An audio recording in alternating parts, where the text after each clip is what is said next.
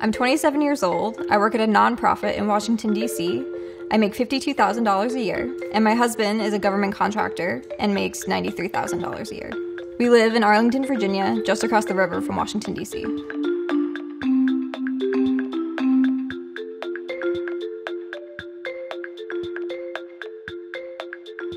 We lived in this apartment for just over six months. It's two bedrooms and 1,400 square feet. Our base rent is 3,300, which we split. My husband and I pay 2,300, and then our roommate, my brother-in-law, pays 1,000. It's definitely a bit bigger than we need, but we love having an end unit with lots of light.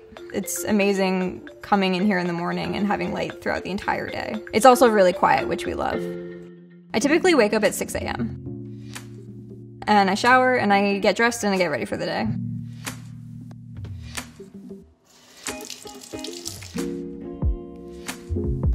I don't do a ton of shopping. I probably spend maybe 400 to $500 a year on clothes, just because I know I need to be saving for student loans to pay those off, and it's just not as much of a priority right now. By 6:45, we're in the kitchen making breakfast and coffee. We usually go grocery shopping once a week for all our food. We typically spend 120 to 150 dollars a week on groceries, and we pay for that with our joint credit card, and then that's paid off by the end of the month with our joint checking account. We each put a percentage of our income into the joint checking account. We have a joint savings account and we also have personal savings accounts. We have $12,000 in our joint savings account. In my personal savings account, I have $750. I have 4700 in my Roth IRA and I have about 700 in my 401k. I also have about $11,000 in stocks I personally own. Our goal is to put in $500 per month into our joint savings, but sometimes our wedding or travel can change that number a little bit. We both have student loan debt. I have about 28,000 and my husband has 5,000. My student loan bill is currently about $379 a month, but I always try to pay more than the minimum. My husband and I are really into coffee. We typically make a pour over before we head off to work.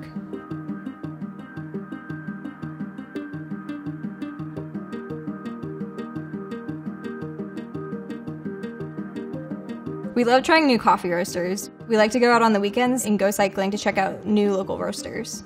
We really love cycling, it's a big part of our lives. For breakfast, we usually have toast with peanut butter and cinnamon. We typically eat pretty healthy because my husband has type 1 diabetes. We cook dinner every night, and I bring leftovers for lunch. I also bring yogurt, fruit, and some nuts and granola to snack on at work. Traveling is really important to us. We like to go on at least one big trip a year, as well as smaller weekend trips to visit family and friends. We don't have a set amount for trips, but we try to save money when we can by staying with friends and family. We had one big trip earlier this year that was about 2300 and we had another trip this summer that was about 4500. I try to leave for work by 6:55 and I always listen to podcasts on the way in. I run home from work so I pack my running clothes and gear. I walk to work in my running shoes and I have shoes in my office that I change into when I get there. My brother-in-law slash roommate has a car that he'll let us use on the weekends. We typically use it for grocery shopping and we chip in about $20 per month for gas. Unless we take it for a trip on the weekend, then we'll pay for the gas for the whole trip. I think it's hard because there's some friends that are very well established. It seems, at least from the outside, they have a house, you know, they don't seem to have any major debts. And then I have other friends that are still in school, still finishing stuff, still kind of breaking into adulthood. And so they seem a bit more shaky, or they definitely still have debt, like student loans and things like that. So I feel like I'm in the middle between the two.